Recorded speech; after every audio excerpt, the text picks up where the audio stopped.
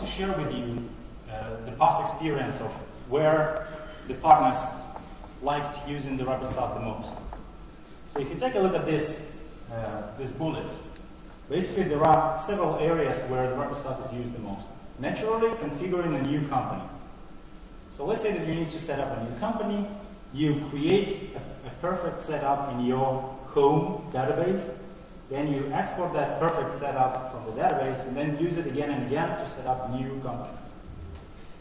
So new functional area or industry-specific setup. You, you can slice these RapidStart packages in, in smaller portions. Like, for example, you don't have to have the entire setup of the full application in one package. It could be a combination of smaller packages, packages each containing setup for a specific area. Like one package for financials, one package for inventory, one package for jobs, one package, for ISV solution, and so on. Now there is an interesting scenario configuring, uh, using RapidStart and transitioning from, uh, from trial version to production version.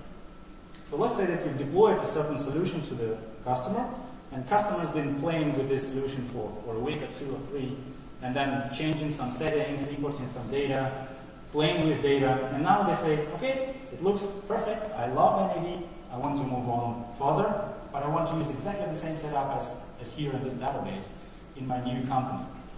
So how can I get this information to the new company, leaving all the transactions and uh, documents and all the things that the customer was playing with in the old trial version? RapidStart can be used there too. Working with dimensions, it was an interesting concept. It started as a small feature, really. So it was, it was partly available in RIM. So what you could do, you could uh, export all your customers and you could export all your uh, dimensions and then you could try to match them using some, some magical keys in Excel, link them together.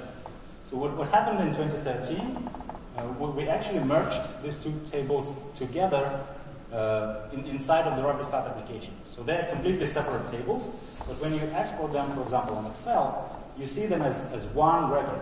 So you see the customer record plus the dimension fields, which made it possible to edit uh, dimensions for customers, for example, in, in, a very natural fashion, instead of just linking them in, in some odd way. We'll get through that as well. And then, of course, one interesting scenario, uh, some partners say that they use RapidStart to teach their customers NAV. So we'll, we'll look at this scenario and how it can be used. It's actually quite an interesting twist. It, it's funny how it happens with, uh, with the NAV features that, that we ship. Sometimes you think that it can be used for one or two or three things, but when it goes out to you, to partners, it can be used in, in of different ways. And this is, this is one of the interesting ways where, where partners are using RapidStart to, to teach customers how to use NAV. Of course, data editing and data migration. So this is one of the strongest part of the RapidStart. Uh, there's, there's a plenty of scenarios, not necessarily during implementation project, so there's a plenty of scenarios when you want to bring in some data from external source into NAV. Or you may want to, to work with NAV data in Excel. And RapidStart is flexible enough to let you export any table, any field into Excel, and edit it there, add a few records, put it back into NAV, and then take it from there. So mass edit, bulk edit, change and replace all the Excel possibilities all of a sudden available to, to all the customers who can use RapidStart. And of course, data exchange.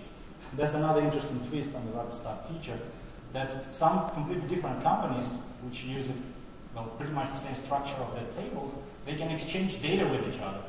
So they can send uh, sales documents from one company to another using the RapidStart package, or permissions, or some master data, like I will send you my customers, there you go, RapidStart package.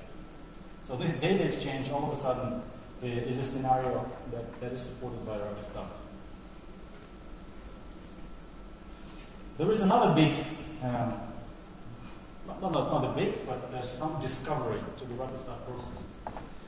So what happens is, uh, we say that, okay, NAV is, uh, is trying to build up another, another channel called repeatable business.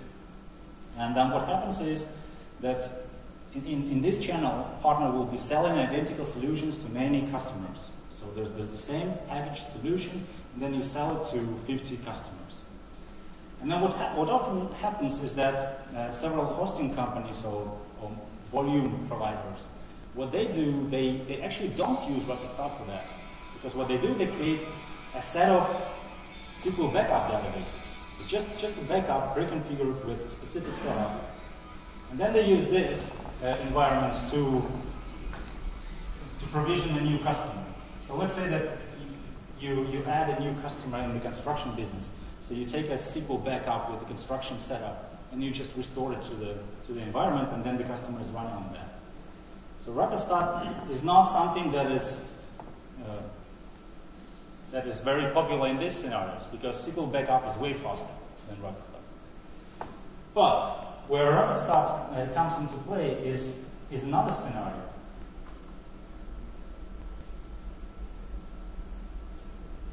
So let's say that uh, you give the customers a choice of which functional areas within the application you want to set up. So not like you're starting from a single database fully configured for your needs. But you give a customer a choice that I want these three standard areas of NAV plus these two add-on solutions. And I want them to be configured in my new environment.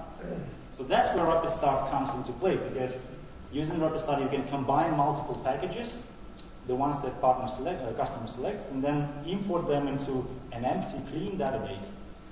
By that, setting up all these, these three areas and uh, whatever add-on solutions that there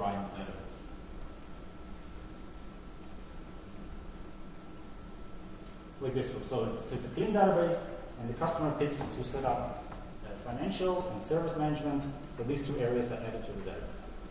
Because there is this, uh, how do I call it?